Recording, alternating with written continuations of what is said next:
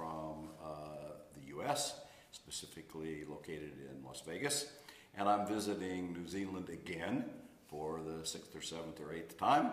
And I've just discovered that uh, Startup Weekend will be in Tauranga uh, November 13 to 15.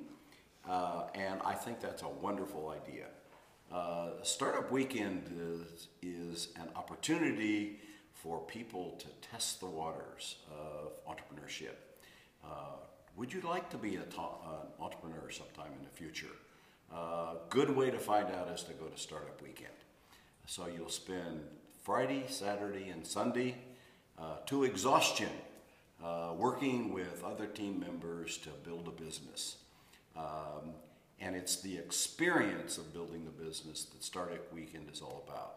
So the outcome is not about creating wonderful new scalable ventures that uh, create lots of exports for New Zealand. It's about the process of starting companies and getting an experience in, uh, in, uh, as an entrepreneur and as a team member helping to build a company. So please come to Startup Weekend in Tauranga, uh, November 13th to 15th.